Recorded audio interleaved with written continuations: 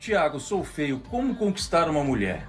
Meu amigo Outlier, você acha que é difícil só para você? Olha como era para mim há uns anos atrás, quando eu ainda gravava conteúdo aqui no Instagram. Você acha que quando eu era feio desse jeito eu estava preocupado em conquistar alguma mulher? Eu vou te dar uma dica contraditória e eu sei que você não vai seguir. Só o tempo vai te ensinar isso, talvez. Até hoje eu não estou preocupado com isso. Não conquiste mulher nenhuma. Eu só estava preocupado com três coisas: encher minha conta bancária, com networking, como eu trocaria os meus amigos e autoajuda. Como eu melhoraria o meu mindset. Como eu criaria um mindset de abundância. Querer melhorar a si mesmo, ficar mais bonito só por conta de outras mulheres, vai por mim. É pensar pequeno. Só por pensar assim você já se coloca numa zona de mediocridade. Você tem que querer melhorar para si mesmo, não para as outras pessoas. Quando você procura melhorar todas as suas áreas, não em prol de só uma pessoa, uma mulher ou várias mulheres,